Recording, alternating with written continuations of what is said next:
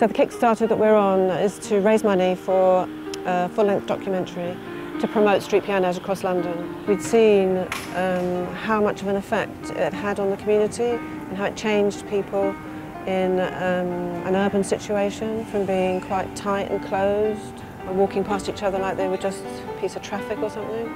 And then you'd see people stop, talk, listen, smile, and it changed the whole atmosphere. I think it's an excellent idea. It works. A lot of people can't afford it or afford lessons, but they have this natural ability and talent. And I've seen some beautiful uh, pianists out here. It's just very humbling that somebody could actually come up with this idea.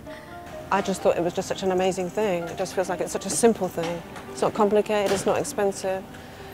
And to put that in uh, the right situation can make loads of people their day a better day. You live in a city of diversity.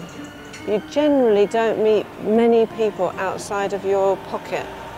But through the piano you can and get to enjoy and appreciate people that yeah, you wouldn't ordinarily meet.